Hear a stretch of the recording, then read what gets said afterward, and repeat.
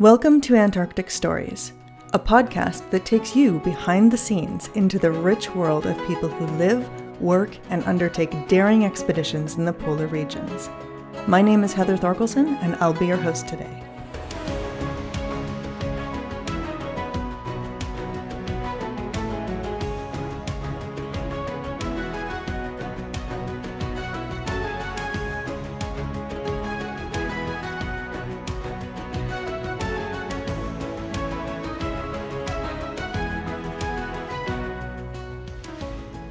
Webster wears many hats, working as a marine biologist, photographer, polar diver, and illustrator across all seven continents.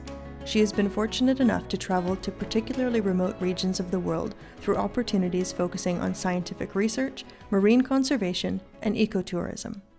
Regardless of location, her enthusiasm for exploring and sharing the beauty within our natural world is steadfast and unparalleled.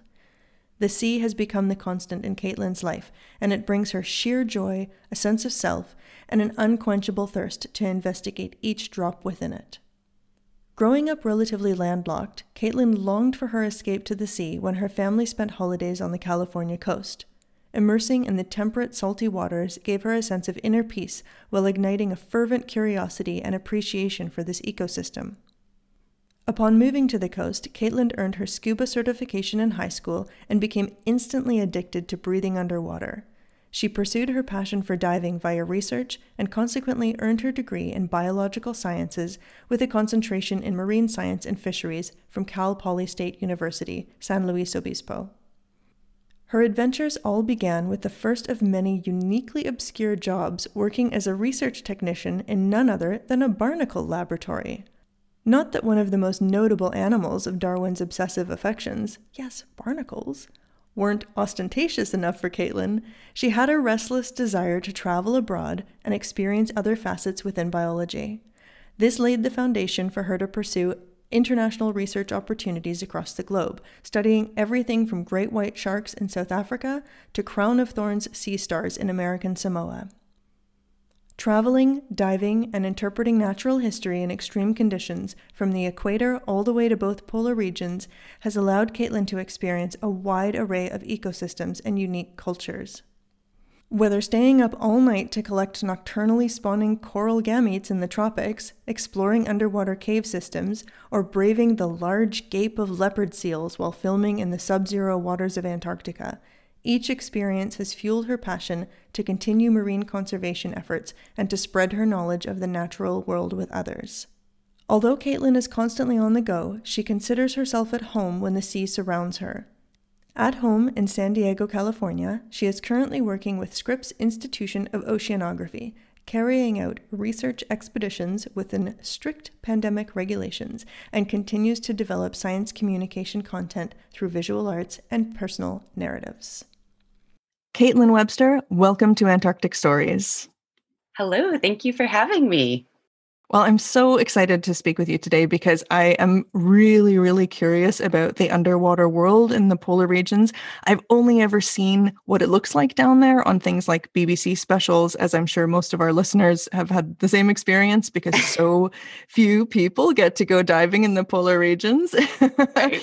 so, this is very, very personally interesting for me to learn more about from an actual human being who has done this. So, you know, we learned a lot about you and your background in your bio, but I would love for us to start out with you telling us exactly how you got started working in the polar regions and specifically diving in the polar regions.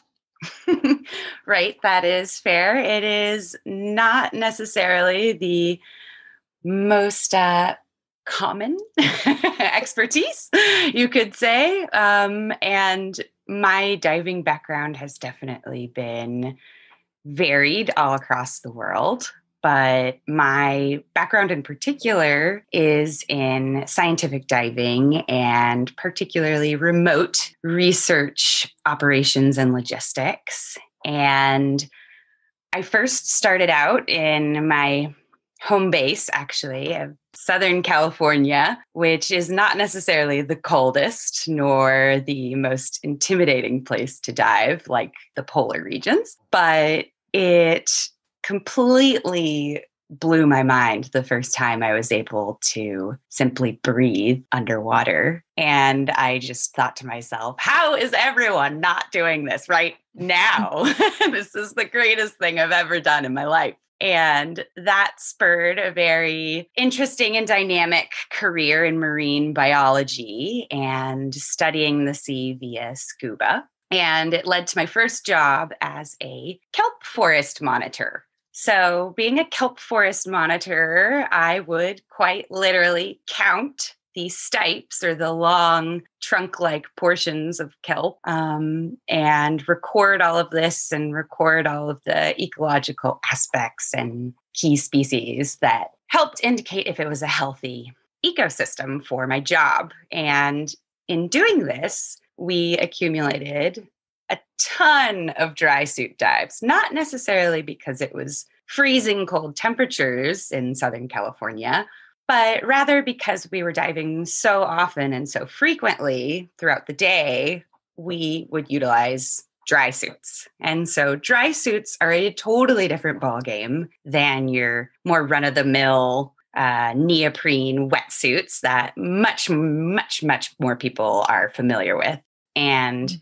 in theory, a dry suit has these crazy seals, um, latex seals on your neck and your wrists in an attempt to actually keep the inside portion of this spacesuit essentially dry on the inside. And so you fill it up with air and have a vent on your left arm in order to let some of that air out. And between my very uh, diverse experiences working in Africa and in the South Pacific, uh, these really remote places. Along the way, I made a wonderful friend I still have to this day that gave me an intro to my diving in the polar regions. And oh. So one day, very funny small world scenario, she was actually interviewing and applying for my old job as a kelp forest monitor and hmm. asked mm. if she could put me down as a reference. And so I said, Yes, of course, you'd be a great fit. And at the same time, I was planning my next professional steps. And maybe not even a month later, I get this message completely out of the blue asking, hey, do you want to go diving in the Arctic with National Geographic? Wow. Which is like, who says that? who sends that message and yeah. who receives it? Um, well, it was my lucky day that I did. And uh, I went through a very rigorous series of Skype interviews, which you might appreciate, while um, this fantastic man, Dennis Cornejo, who's one of the godfathers of diving in the Antarctic for sure. Um, he was trying to do these Skype interviews while he was on an expedition ship in Norwegian fjords. So just about every other word was like, oh, oh, I can't quite hear you. But eventually we managed to get through it. And um, and within a few emails and interviews, they said, okay, great. How soon can you mobilize? Which is one of my favorite phrases a boss has ever asked me. and within a matter of maybe two weeks, I found myself destined for the Ritz Carlton in Oslo, oh. Norway, which was a dream in a dream. I, it was one of those pinch me experiences that you oh can't gosh. even believe until you're there in it. And so yeah. we were heading for Svalbard, and I was beyond excited to get the opportunity to not only see the Arctic, but also dive underwater. And so, my job that um, I developed after that first incredible experience was working as a very rare specialized job called an undersea specialist. And so, the idea is that regardless of where you are in the world, you are going to interpret the natural history of everything and anything under the sea, which is very helpful when you can go scuba diving and bring a big old camera rig in order to bring the incredible life that is underwater that most people are not seeing and bring that to the surface to share it with the guests and various people that might be on board an expedition ship. So it definitely was not the most direct path, but um, a rather rare and fortunate, very right place at the right time kind of a way to for sure there.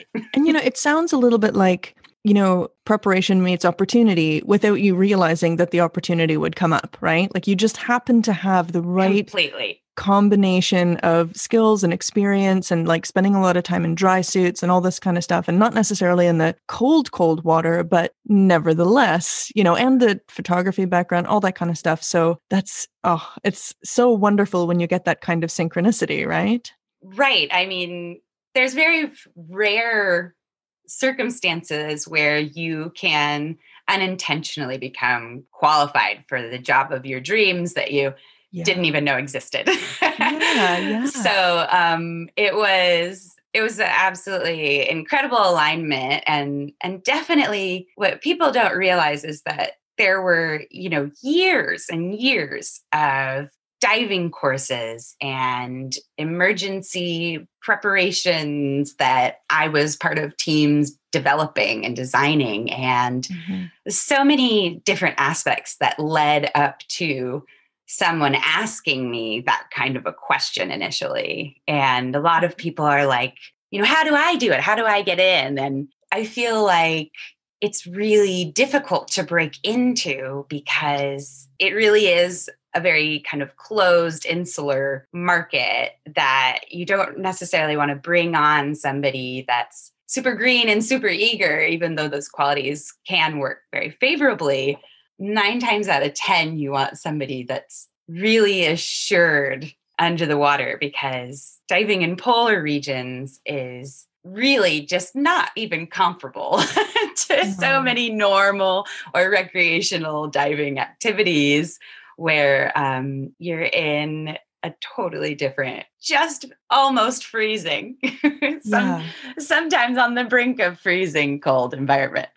Yeah, and different um, risks associated with that. Not just the freezing cold temperatures, but also ice and stuff, right? I mean, it's a it's a dramatically oh, yes. different environment than what most people would dive in. So, right. on that note, I'm curious because you know, as much as I'm a polar guide, I don't like the cold.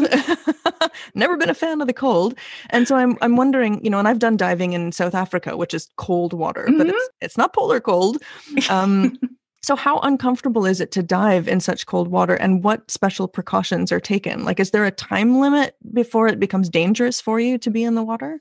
Definitely. There are tons of precautions that normally you would never even think of. I mean, the the biggest scariest one you could say is that up in the arctic you have to have your rifle in the boat and be alert for polar bears because they are very much marine mammals. it's part mm-hmm. of the part of the risk of diving up there is that yes, you might come upon a polar bear and a swimming polar bear. A swimming polar bear, yeah. And I mean, I have definitely seen one swim for over a mile and then sneak attack a seal just out mm. on an ice floe and out of nowhere it just bursts out of the water grabs the seal, brings it back down into the water. And then, you know, this suspenseful moment of, oh my God, oh my God, did it get it? What's happening? Yeah. And then it comes back victorious with this massive ringed seal. And whoo, it's, yeah. it's their capabilities are far superior, unfortunately, to my own and my dive buddies. But thankfully, I have had uh, not even a close encounter with something like a polar bear while in the water, but definitely massive hunks of ice or icebergs are a huge component of the kinds of things you have to think about and prepare for and keep calm is honestly one of the biggest hurdles because once you dive into polar waters, be it in the Arctic or Antarctic, you actually feel kind of a sense of a relief mm. because mm. it can take so long to get all of your equipment that involves heavy, warm, insulating layers, massive weights to offset your big, bulky dry suit, right. your huge, heavy tank.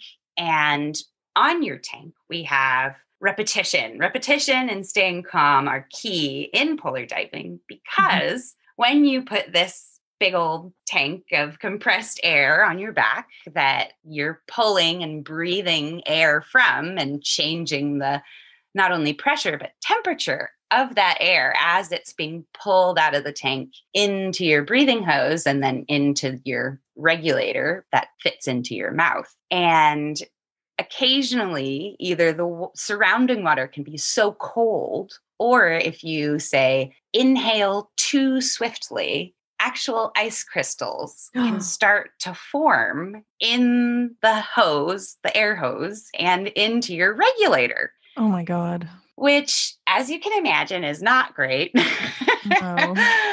but we have we have this all built into our emergency procedures for if and when that happens. And the issue with when that does happen is that if your regulator, the part of a scuba setup that fits into your mouth and delivers the air, if that detects any kind of issue or, say, a particle like a chunk of ice or a bit of sand, something that might mess with the mechanics of your air, instead of completely shutting off, it completely shuts open wide.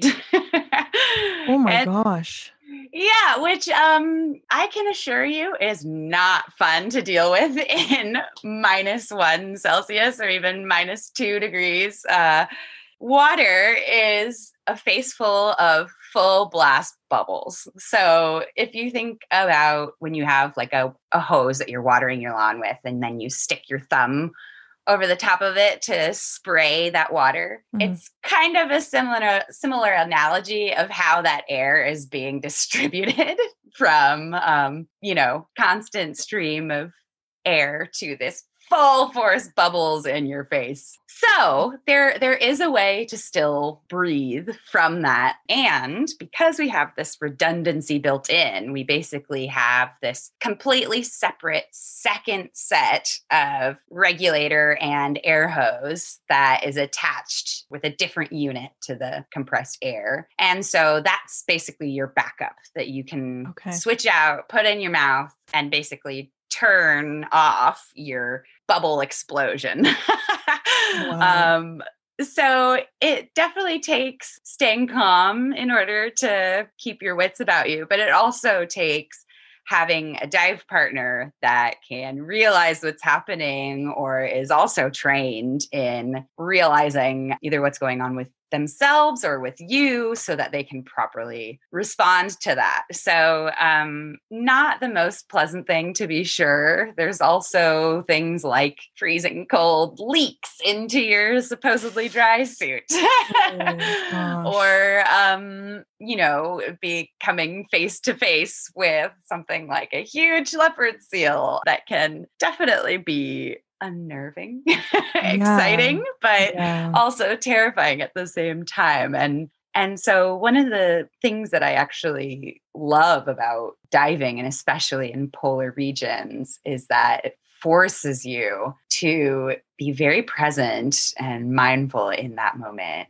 and focus yeah. on just breathing in and breathing out because you really are limited to about maybe 45 minutes maximum before okay. your appendages get so cold and your brain gets so cold that you really stop being able to make well informed choices and decisions because the water is just simply that cold, regardless of how many layers you put on. Yeah, yeah. I was going to say, as you were describing all this, I thought, you know, you must have to go into almost like a Zen mindset, right? Because you have to be hyper aware of your gear. You have to be hyper aware of your surroundings. And you do, you have this limited biological time before your body starts to go into a different state. And yeah, you're not, you're not making proper decisions anymore. And, you know, of all things you could be doing in freezing cold water, diving is a time where you need all your wits about you definitely definitely yeah yeah i mean the the brain freeze is definitely real but um it's it's very funny you know you wear you wear all of this gear and people can can see that blatantly that you're wearing a heck of a lot of gear mm. and more often than not i will actually be sweating by the time yeah. i'm on the boat and out to our dive site and you finally roll back into this freezing ice cold water, seawater. And it's actually kind of like, whoo. yeah, it's like a relief in the beginning. relief in the beginning, which is so funny because I mean, you know what's coming. And no matter um, the incredible advances in things like heated undergarments and mm. heated gloves that actually connect through our dry suits to this big massive external battery that we strap onto the side of our tanks and oh they are complete game changers but even so the wonderful advantage of having heated gloves electrically heated gloves is really just delaying the inevitable which right. is you're going to get cold yeah. and it's it's really just a matter of time but for those first you know i would argue maybe 6 minutes depending on where you are and how deep you are mm-hmm. it is sheer bliss it is the most wonderful you're like flying through this gorgeous polar water and then minute six comes and you feel that cold start to seep in. And at first you can you can fight it and you're determined. And then it just takes hold of you in such mm. a way that it really becomes this mental warfare of okay focus on the breath, focus on the filming, focus on the mission at hand, whatever it happens to be. Yeah. Because oof, with an idle mind under the water, it becomes all consuming. All you can think about is, yeah. oh my yeah, the cold. cold. Yeah. Do you is there is there some marker for you eh, mentally where you're like, now is the point where if I don't go up, if I don't resurface, I might get frostbite on my toes or something? Like, is there is there anything that that indicates that for you? Or or is it just experience and knowing like literally looking at your watch i've got this much time and then i got to get out of here right. I i think it's a combination of both. I i definitely think experience has been key because mm. definitely diving with more often than not, some rather larger men that seem to defy the cold itself. And and just in diving, you know, it takes so much effort to put all this gear on and actually get out to some of these more remote, incredible polar dive sites. Mm-hmm. So you want to spend as much time as you possibly can down there in this gorgeous environment. But what what my kind of rule of thumb is once you start to hit your personal limit, it's already too late. oh, because okay. by the time by the time you okay, tell your buddy we've got to start making our ascent, you still have to go through your 3 minute safety stop and then you mm. have to get up out of the water and then back onto your zodiac or your boat.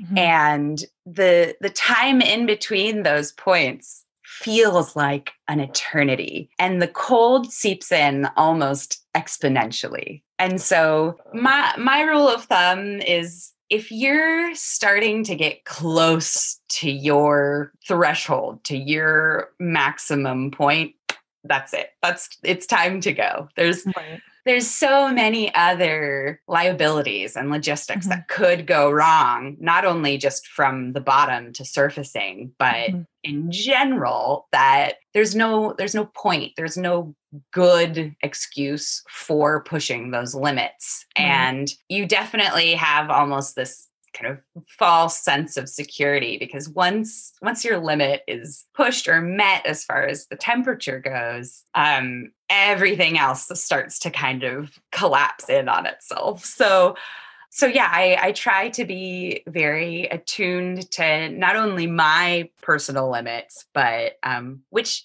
I have definitely tested and learned learned the hard way um, of dealing with something like a leaky glove or what have you. But um, communication with mm-hmm. your dive buddy and knowing how to respond in a, a situation where maybe you have passed your threshold for being able to think clearly underwater. Yeah, has has endured some trial and error.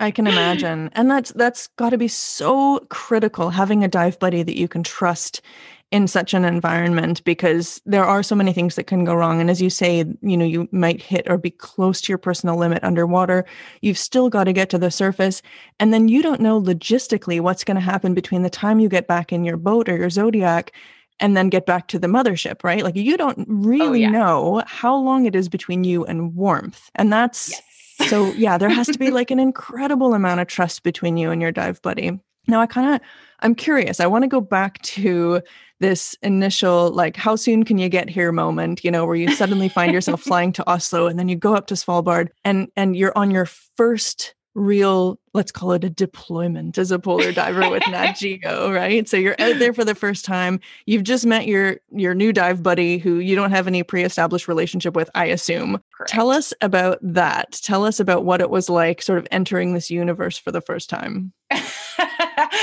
yes, it was noteworthy uh, to be sure. My my first dive up, up in the Arctic was surreal in just about every possible way we we had a few failed attempts actually before we could finally even completely submerge due to some um, dry suit leaking issues with my buddy. And so it kind of took us a while before we finally were able to get into the actual water and go on a dive.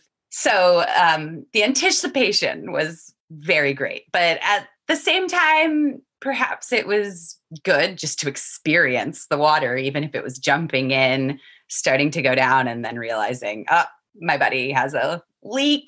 Ah, we have to go back up and cancel the dive. So we finally get in, and this incredible, noteworthy bird cliff up in um, Svalbard, Alkefjellet, is known for these incredible nesting birds on the side of this very sheer cliff, this incredible drop off. And as you might imagine, the cliff doesn't just stop once it hits the water's edge, it keeps going for what seems like forever, but hundreds of meters down below is this. Wow. At first, um, very steep, and then more gradual, but still pretty considerably steep cliff. And um, with all of these incredible birds flying around, there's a heck of a lot of guano that's being deposited into the water. And funny enough, there are just like many lichens and other more um, topside terrestrial organisms.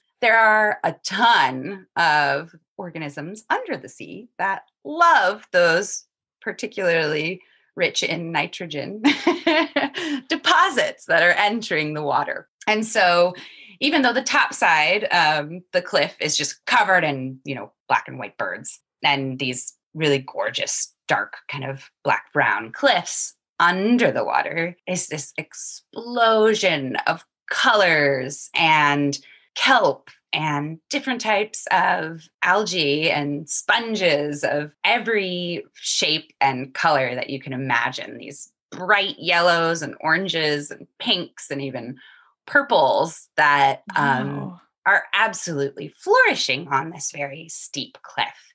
Huh. And so when we first roll in and we get down to about maybe 20 um, feet, or let's see, like, gosh, what is that, three meters, four meters, um, and very shallow. And there is this gorgeous um, kelp bed. So the, the difference between a kelp forest and a kelp bed is really just not only the species of kelp, but also the height that it comes to. Okay. And so a kelp bed is much more low lying. The blades of the kelp don't necessarily like reach the top of the um, water, like in, say, something like a kelp forest. And so um, it's fairly easy to navigate and to find actually your buddy because you can be down amidst these really thick stipes, uh, fleshy kind of tree trunk part of the kelp and looking at an organism and then you pop your head up up above the canopy and you can pretty easily find your buddy's bubbles off in the distance or whatever up above where they are in the amidst the kelp. And so um, we were kind of cruising along, my buddy and I, and he was filming, and um, I was there as the safety diver role and just following along, trying to find anything and everything interesting. So we focused on the shallower kelp beds. And then we started to descend a little bit deeper down along this gorgeous cliff. Hmm. And the sponges and anemones were just absolutely breathtaking. Thankfully, not literally breathtaking, but it was incredible just to see all of this. And then on very clear days, you could even see some of the guillemots diving down into the water from up above. And it's absolutely incredible. You really just have a true appreciation for how intrinsically the water and the earth are so beautifully interlinked. But all of these wonderful thoughts are going through my head, and I am on my first polar dive. So I think, oh my gosh, I'm the coolest person I know. This is amazing. I have to tell everyone about this. This is so incredible. What a dream come true. And then, as I mentioned earlier, that minute six or so starts to creep in, and the cold just comes on like something you've just never experienced before. And it it starts in your extremities, so your feet and your hands. And you start kind of wiggling your toes and trying to wiggle your fingers and keep as much circulation as you can because all of your blood is like, I need to go towards your essential organs and keep those ones warm. And so you start kind of doing a, a little bit more kicking, a little bit more moving around to try and keep your body a little bit warmer. And it was really unlike anything else. And so from about that moment in, because I wasn't focused on filming, it just became this mental appreciation for okay, focus focus on this organism or this whatever it happens to be that I'm looking at. Just at least for one moment mm-hmm. until the time slowly ticks away. And so we're cruising down deeper and deeper along this gorgeous wall. And what feels like an eternity later is really only about 25 minutes. mm-hmm. um, but it feels like forever. I'm almost cursing myself, like, oh my God, what have I done? What have I gotten myself into? This is painful. How am I supposed to concentrate? And finally, my buddy turns around to me and he's like, okay, gives me the hand signals for let's let's start to go to the surface and get out of the water. And so I was like, yes, okay, I am ready. that was great. we can get the heck out of here. So I'm I'm excited and we had both put more weight in than probably usual because it was our first dive with these dry suits and so we wanted to be a little bit overweighted. But there's also a fair amount of considerations when you are overweighted and you're diving on a very steep cliff to take into account. Yeah. So I had remembered this, and as kind of per usual, when you start to ascend and go up um, in elevation and you are changing pressure, typically you let a little bit of air out of your dry suit so that it doesn't expand too much um, as you start to rise in the water column. So hmm. I let out a little bit, but not too much, knowing that we were carrying a significant amount of weight on both of us. And as I was kind of turning towards my buddy, I saw him turn away from the wall and away from our kind of gorgeous visual reference and look just straight into the murk. And so, as you may know, the polar regions do not have the most clear, glorious water as somewhere Right. like Tahiti or the tropics, where you can see for miles underwater. But um, because they are so wonderfully productive and rich, you can, you know, maybe a few feet, maybe a few meters is like a good day. And Mm. so he turns away toward, uh, from the visual reference um, and in just looks into the murk. And in that moment, he is kind of lifting up his arm to start letting some of the air out of his suit. And what he doesn't realize, because he has lost this now visual reference, is that he starts to plummet down so quickly that I think, oh my gosh, has he seen something? Has he found maybe an animal that he wants to film down below? And I think, oh my gosh, I, I gotta stop. I gotta start going back down. Oh my gosh, I gotta clear my ears so that I can go back down. And I was very confused. Uh, Yeah.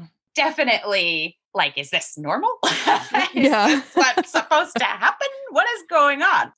So I, I try and stay mindful, keep my training wits about me. And I'm like, okay, just follow him down as quickly but safely as you can mm-hmm. and go see what the heck he's doing. So thankfully, he was plummeting without realizing. And there was this little ledge that kind of stuck out from the cliff. Thank honestly, it saved his life Wow. and he's plummeting down, plummeting down, and then lands completely flat footed on this ledge. Thankfully, that was there, and is looking around and looking like below him, like What? very confused, very panicked motions and freaking out. And I'm swimming down, clearly seeing that something's, you know, pretty wrong Yeah. And trying trying to get down there as quickly as possible and he at one point finally looks up at me and has these huge deer in the headlights massive saucer eyes and i'm like oh no. Oh. Help him but keep your distance. Uh-oh. Yeah. that's that's not a good look.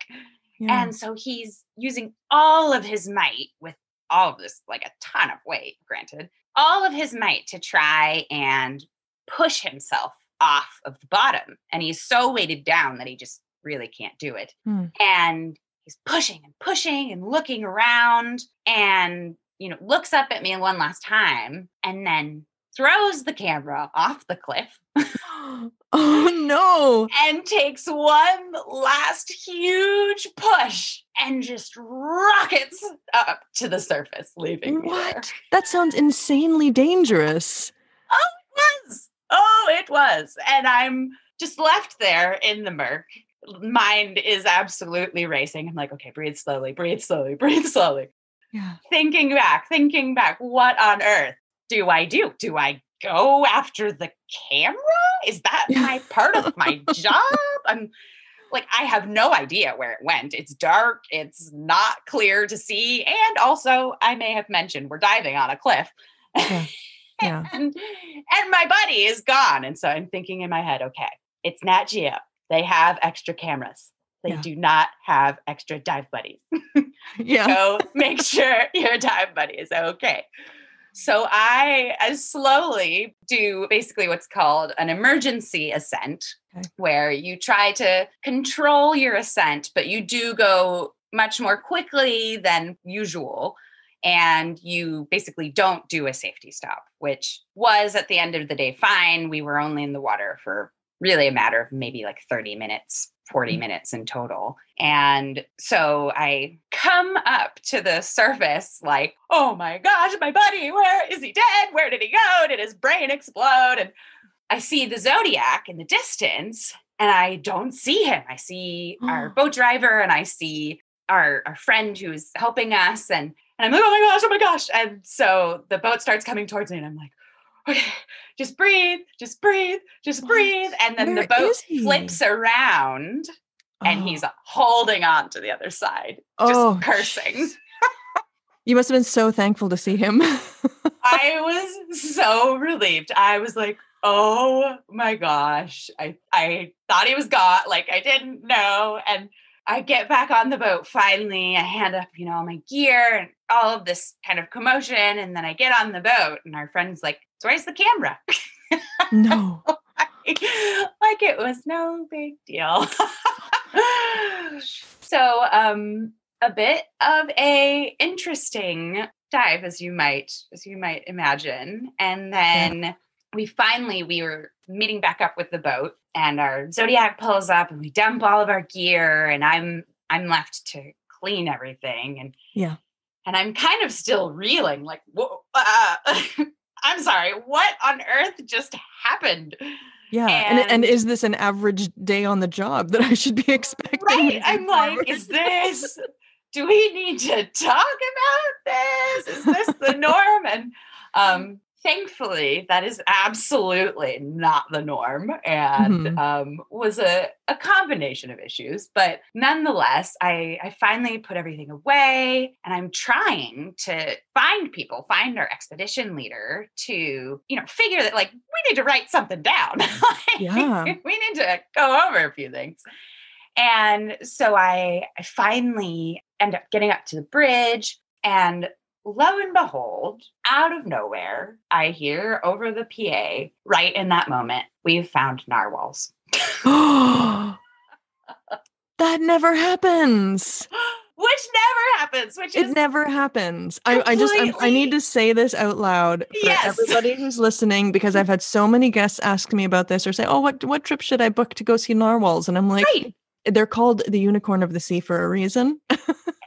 exactly. Well, and so this this will make you laugh. So if I say if because it is so rare to mm. see them, which mm. truly cannot be emphasized enough, if you do happen to see them, which finally we start to, you know, zoom in using the most powerful binoculars imaginable. Yeah.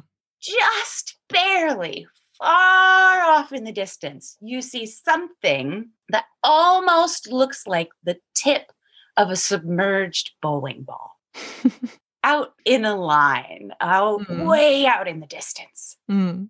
And those were the narwhals. and everyone is just freaking out. All of the naturalists are like, "Oh my god, narwhals!"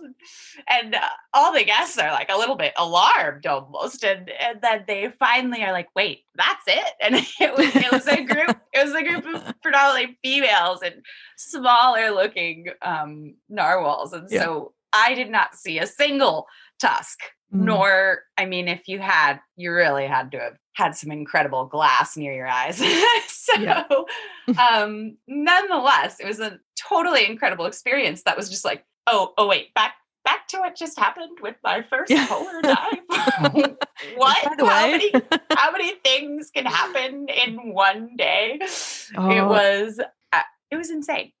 it's almost like the narwhal showed up as a consolation prize for the trauma that you had to suffer on your first you, time. you survived. Congratulations. Here's one of the most rare, incredible sightings that can possibly happen oh in Svalbard of, of of all places places in the whole yeah. wide world. Um, Holy so it was a, a memorable one well, I'm really, I'm really, really happy to hear that that experience didn't turn you off of future polar diving and that you continued on because that that that's enough to turn a lot of people off. I mean, what a, especially just as you described the visual. It's not like you were just diving in a, you know, shallow bay or something. You were at Alkefjellet. You were at a cliff that plunges into the depths of like the darkness, and it's I, yeah, it, there's so many elements of that that just sound kind of terrifying. And then to have your to have your dive buddy freak out and like throw this expensive equipment into the abyss and take off, it's like, whoa.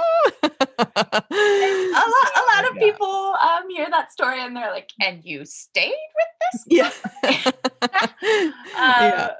Thank, thankfully i i was able to get a few more controlled um very different dives in throughout my contract and nice and really allowed for for me to actually explore and truly appreciate and fall in love, deeper in love with the ocean, but particularly in polar regions. And so, mm-hmm. as you can imagine, it's not really the easiest thing to gain experience in, mm-hmm. nonetheless, to stick it out because most people that are not blessed with a pinch of crazy are like, no way, you're going to pay me to get into that water. And so that eventually led to becoming hyper specialized in diving in the polar regions. And right. once I kind of got more familiar with and became um, really immersed in diving in the Arctic throughout the Arctic, uh, it, it allowed me to then kind of gain my credentials in order to be allowed to go into the even colder somehow only mm-hmm. by about one degree Celsius, but that makes all the difference, let me tell you. um, colder water of the Antarctic and right. um, exploring that equally fascinating realm. Right. And then in the Antarctic, you have, of course, a lot of ice, probably in general, a lot more loose floating ice, I would imagine. And just based on what I've seen, anyways. And then also you have a totally different kind of predator, which is spends a lot more time in the water than polar bears do, which is, as you talked about earlier, leopard seals. So I, I'd love for you to kind of paint the difference for us between what you see underwater in the Arctic versus what you see underwater in the Antarctic, because I imagine they're quite different. Definitely. Yeah. I mean, just just like on the top side of things, a lot of people think, oh, ice, Arctic, Antarctic, what's the difference? Is there one? Mm-hmm. And it, to be fair, um, most most people that aren't going to be exposed to these kinds of environments frequently might miss a lot of more subtle clues about the mountain formations or about how much ice there really is. And it is very site specific, but I would argue that definitely diving in the Antarctic is a different ballgame, is not necessarily as similar as you might think. And mm-hmm. though there are a lot of animals that actually occur in both regions, um, I I adore the Antarctic because depending on when which uh, part of the season you go it can be a very different ball game and more often than not um, in the arctic i like to think of it as jelly soup mm. and so i have seen more waters chock filled with all of this diversity of jellyfish and these small translucent organisms that are not related to but similar to jellyfish called ctenophores hmm. and tons of these pelagic floating animals that are taking advantage of this definitely nutrient rich arctic summer. And in general the bottom of the sea is um, more muddy. And so the visibility is usually quite poor in the Arctic, unless okay. you are happening to be upon um, something like a very sheer vertical cliff right. where the bottom of the sea is far, far below. mm-hmm. But in the Antarctic, um, things can be a little bit more clear. I will say that um, as opposed to something like jellyfish, more often than not in the Antarctic, I will see a heck of a lot more barnacle molts. Oh. And so, um, what what folks might not know already, but um, barnacles are these small little crustaceans that are predominantly sedentary and build this calcareous wall around themselves. But just like something like a crab or a lobster, they need to molt their hmm. um, exoskeleton. Mm-hmm. And so the part that they molt is um, their foot, actually, which is what they feed with.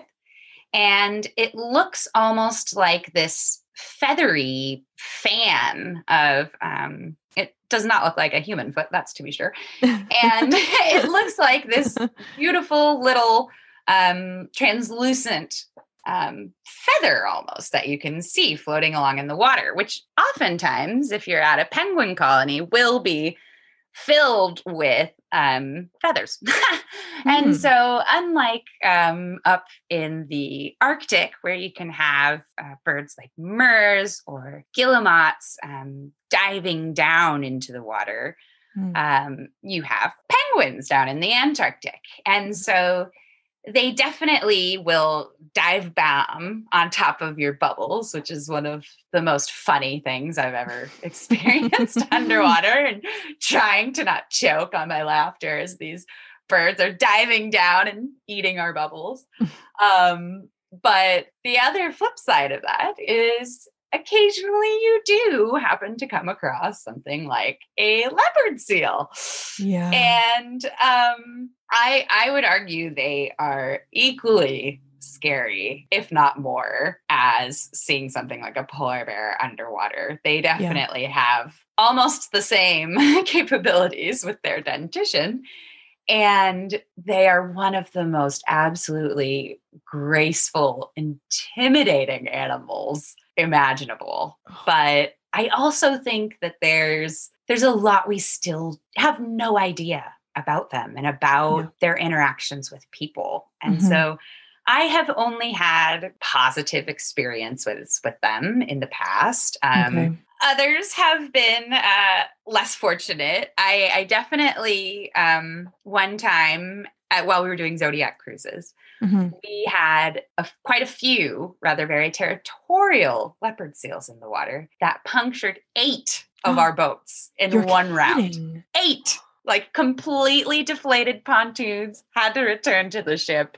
I've never It heard of such a thing. It was madness. And then, honestly, so uh, our poor bosun, who's in charge of you know fixing all of these boats, is like, Yeah. "You guys, what are you doing?" And we're all like, "We swear we're not intentionally going towards these seals. Like they are No. attacking the boats."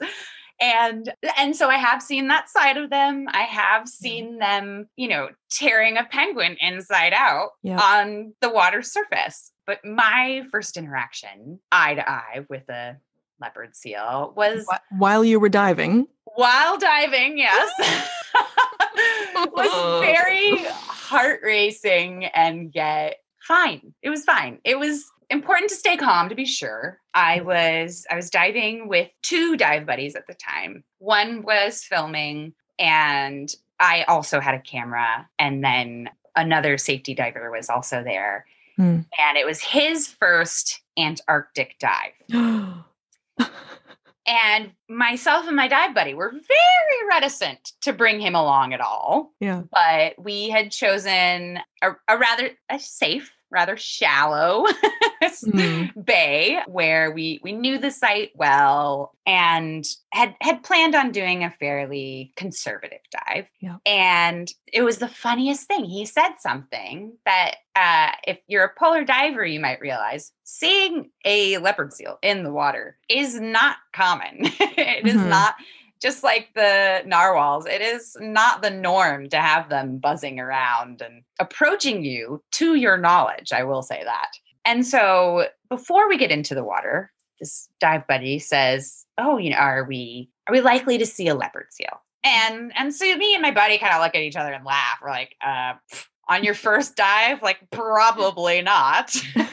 but a for effort, you know, Yeah, if you never if you never. find one, like definitely let us know. And so sure enough, maybe 15 minutes into the dive, we're all poking around looking for sea spiders and anemones and um, things that are fun and interesting to film underwater. And my my dive buddy come come he comes up and he taps me uh, uh, and he's like, "Hey, look around, look around," and he makes this kind of circling motion with his finger, his hand, and, and I'm like, "Oh, what's circling us?" Mm. And I look up, and then sure enough, not maybe maybe a basketball court in between me and a leopard seal, and it's looking directly at me. Coming towards very slowly. And it was it was a younger juvenile which are actually uh, the ones to kind of be a little bit more wary about. Right. um, they have a little bit more something to prove. Mm. Uh, nonetheless um, it's started heading towards us. And i was like oh my okie dokie. So I my first thought is all right, keep your eyes on the seal, but also look around and find the other dive buddy to alert them that this is now part of the scenario. Mm-hmm. And so thankfully, my dive buddy um, was not too far away. And the seal did start doing this very shark like kind of um, interaction where it would circle us and kind of swim very, very close and check us out, and then swim mm-hmm. back into the murk mm. and swim away. Mm. And then circle back around and check us out and mm. Look at mm. us and move its head very sinusoidally, almost like a snake. And it would mm. turn itself upside down and stare at us. And and it was very exciting, but very terrifying. So we we did, we kind of found our our other buddy and got into a little huddle and like, okay, we're all just gonna look at it. and We're gonna slowly just start to make our way towards the surface. Thankfully, yeah. we were pretty shallow yeah. And it it started to come up to us closer and closer. And indeed, leopard seals don't have hands. So their way of interacting with their world is kind of nipping at it.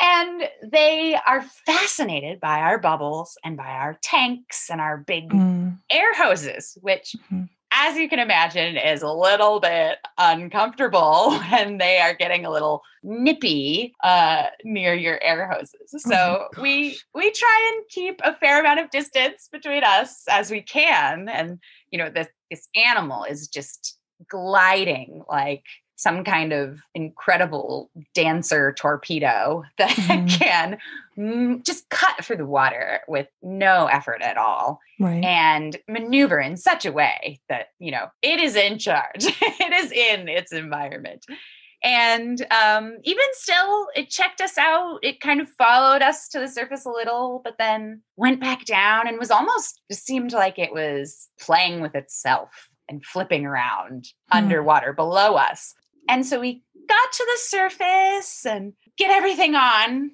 remarkably quickly and get back up on the boat. And then it starts, it's still like coming up to our boat, even and doing these little drive-bys. And I still have this video clip of it just coming up closer and closer to the camera itself wow. for, while we're still in the zodiac and our hearts are still kind of racing and just oh my gosh. Um and it was one of my favorite experiences and we just look at this guy who it's his first Antarctic and we're just like come on! Yeah you're like you don't even know. We've been doing this for years multiple seasons. Your first dive it was totally one of those just like absolutely pinchable moments. Yeah yeah. So i mean it's like I can't I can't even imagine. I mean, I've been in zodiacs multiple times when we've had leopard seals nearby and I've been on shore when a leopard seal came right up to the sand and just snatched a penguin that was waddling mm-hmm. along on the sand and then reared its head up with the penguin in its mouth and looked back and forth across the beach like anyone want to fight me for it and i was just like oh, you know and i was screaming into my mic like eh, to all the other guides you know a leopard seal on the beach and all the right. guests were looking because it's just they're so they're they're so crazy like they're so big and they're so weird looking and they're so yeah, it's just such a every, anytime you see one, whether in the water or whatever, like that kind of scenario, like I did, it's just it, it's really breathtaking. They're really they're they're not a seal in the way that most people imagine. They're very different creatures, you know, in the way that they in the way that they present themselves. And so, yeah. you know, you having had this experience with this juvenile in the water, I have to ask when you're in the water with it and it's coming up and you know like playing with your bubbles and stuff do you physically like how how does that feel? Are you like this thing's massive like do you feel tiny in comparison with it? Because i think people have an impression when you look at them from a distance or in a picture like oh they're not that mm-hmm. big but they're big. Oh yeah.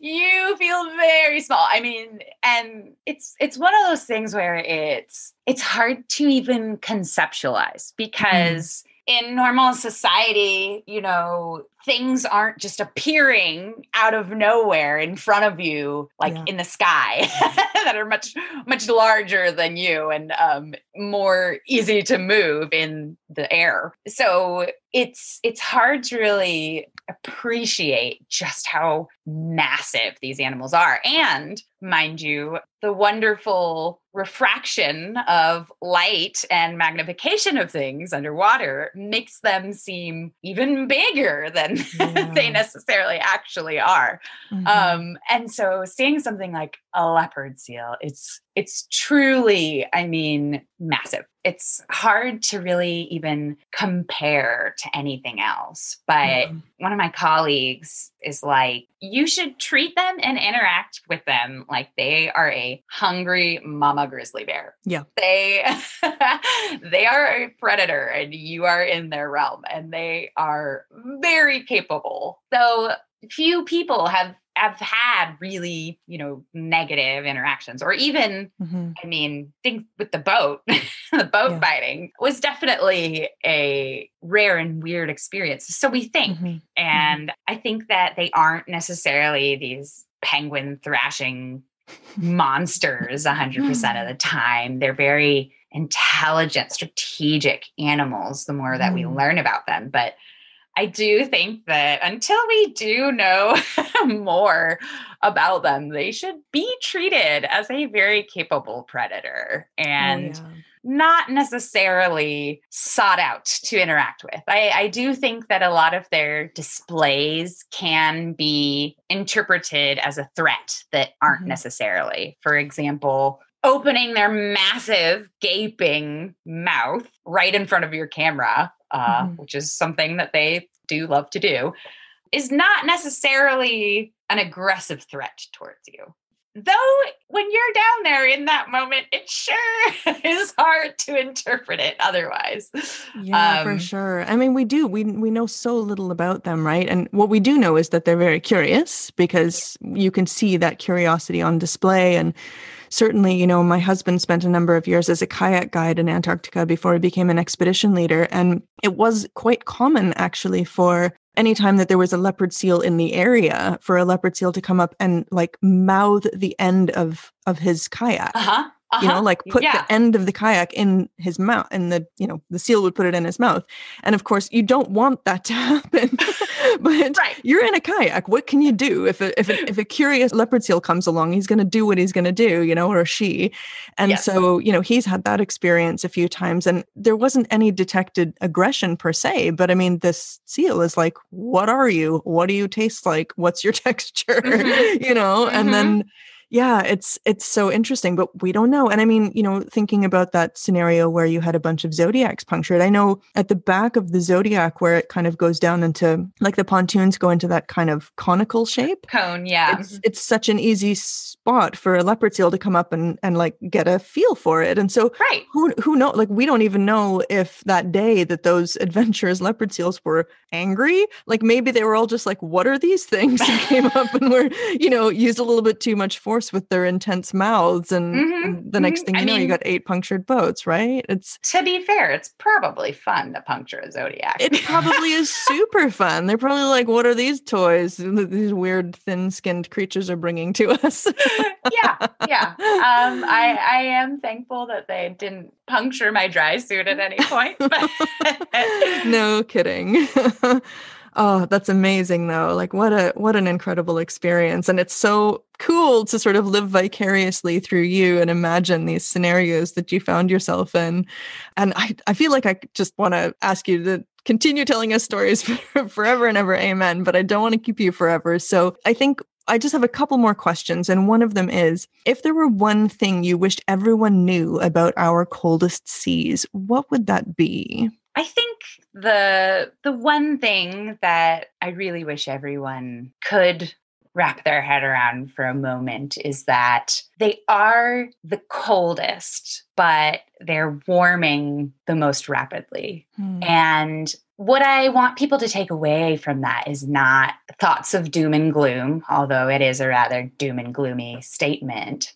Rather, I'd like for people to realize just how connected we are. Even if we live in the middle of a grass plainsland or the middle of a continent that is as far from the ocean or ice as humanly possible on the middle of the equator, regardless of that, we are so interconnected and reliant on these incredible places that harbor so much wildlife and so much untamed, beautiful nature that mm. is so, so precious in and of itself.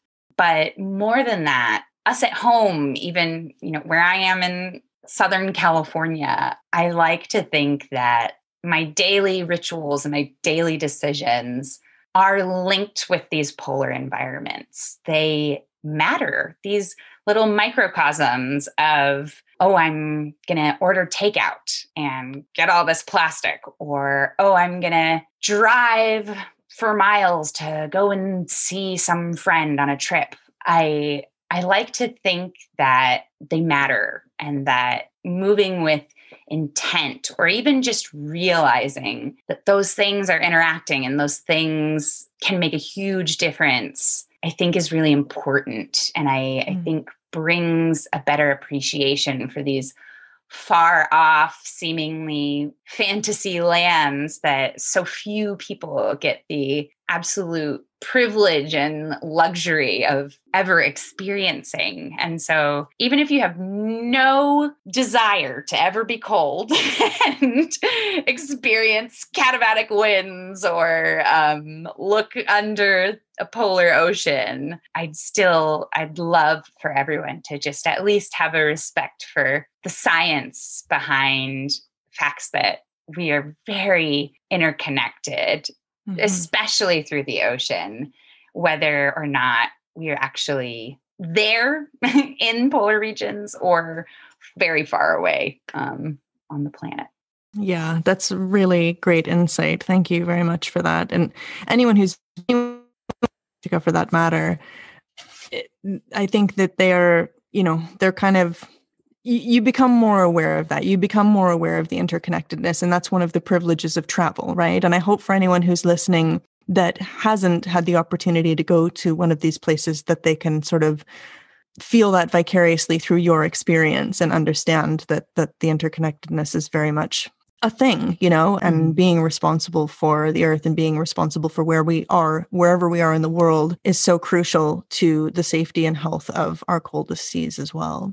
So, last question uh, What is your favorite creature in the polar oceans and why? Oof, it's a tough question. It's a very tough question, but I think I think one of my all-time favorites that does actually occur in both the Arctic and the Antarctic is something that has a very lovely, misleading name called a sea angel. And when you hear of, hmm. oh, a sea angel, what a wonderful, altruistic animal, right? They're very, very small, maybe no larger than your pinky finger maximum. And they are these absolutely beautiful, tiny treasures that are planktonic organisms. So they actually swim, albeit not very strongly, through the water column in the ocean. And they are actually a marine snail. And I, they have evolved in such a way that they have taken what we might think of a stereotypical land snail, um, its big fleshy foot that it crawls along the earth with. Over time, evolution has had the sea angel split that foot into these two teeny tiny wings. And it will actually mm. flap these wings back and forth hurriedly, gliding it through the water. And so they're mostly translucent, but they have this little tapering body. They're beautiful little wings, and then a rather bulbous head that sits on top of their body with these two projecting horns. And so I like to think of them as, yes, a sea angel. However, they are a sea angel of death.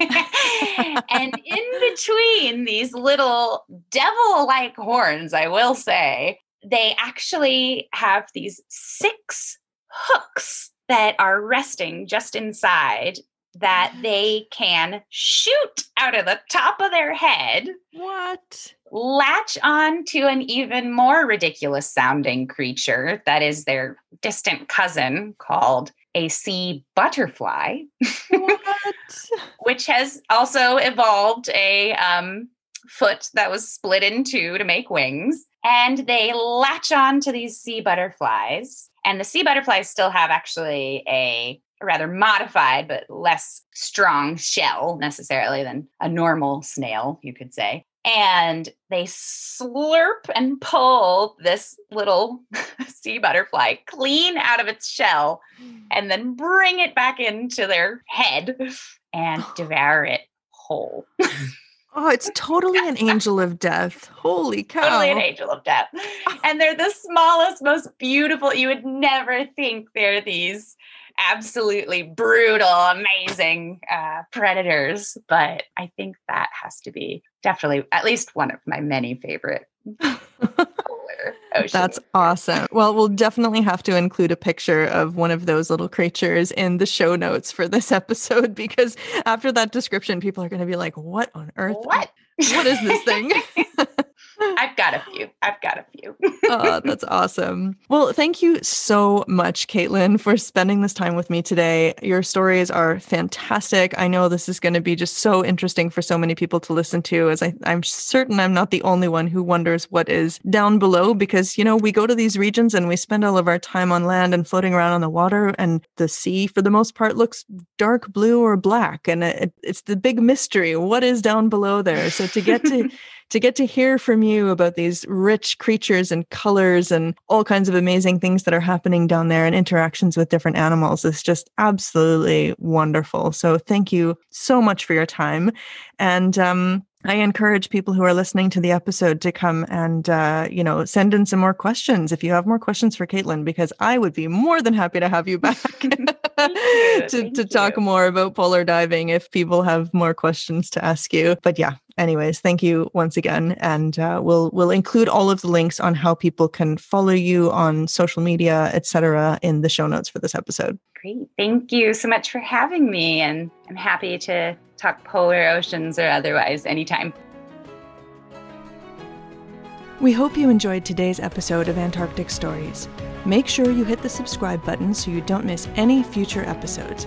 And if you have an extra minute, leaving a rating or review for the podcast will really help us in reaching a wider audience. Antarctic Stories is a production of Twin Tracks Expeditions, a family run agency of polar guides who have spent the last decade working on polar expedition ships. We bring you unparalleled insider expertise in small ship voyages to the Arctic and Antarctica, and we love sharing our insider knowledge to help you find the perfect ship for your next polar expedition. Find us on Facebook, Instagram, or at twintracksexpeditions.com.